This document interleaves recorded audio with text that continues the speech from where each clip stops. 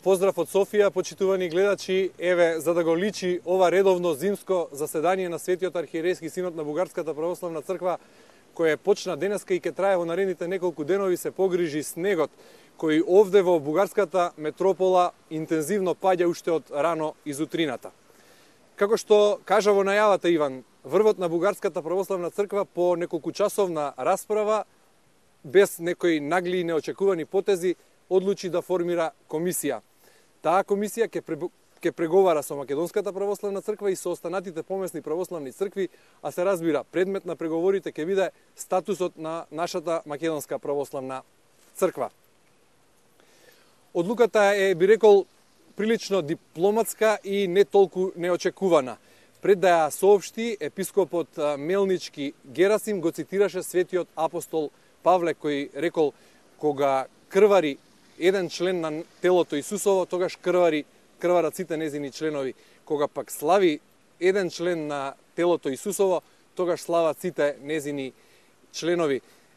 Одлуката е, како што реков, дипломатска, може би недоволно силна за да ги изгрее срцата на една поголема група на верници, кои интелектуалци и потомци на славни историски личности, кои уште од рано изутрината се собраа пред зградата на Светиот архиерејски синод на Бугарската православна црква и би рекол со едно ортодоксно трпение на оваа снежна бура бдеја во знак на поддршка на својата бугарска црква, за како што тие сметаат таа да ја донесе историски најважната одлука и да искористи оваа историска шанса и да ја признае Македонската православна црква за своја керка црква и на тој начин да ја, влез, да ја внесе во големото сестринство од поместните православни цркви.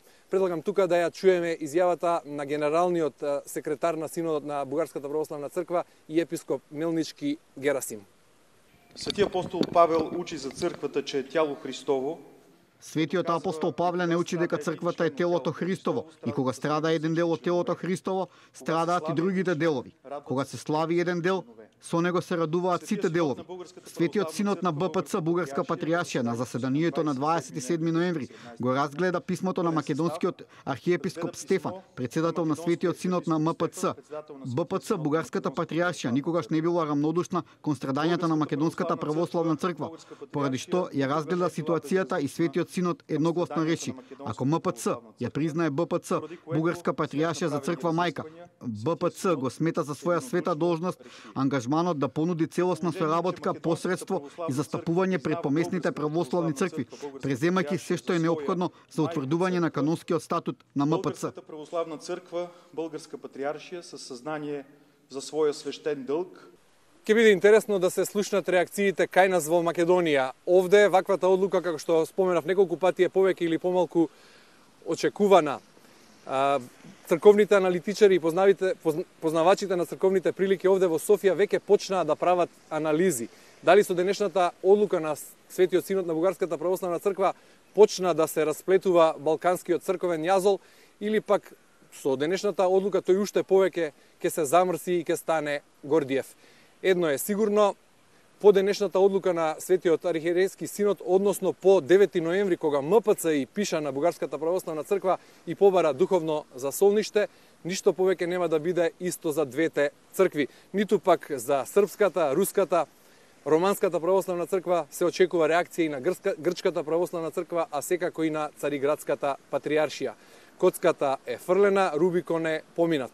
Но впрочем во црквата од секогаш имало многу политика. Не гледам причина зошто и сега не би било така. 2018-тата нели е најавена како година во која се очекуваат многу важни историски настани кои ќе пишуваат нов тек на историјата.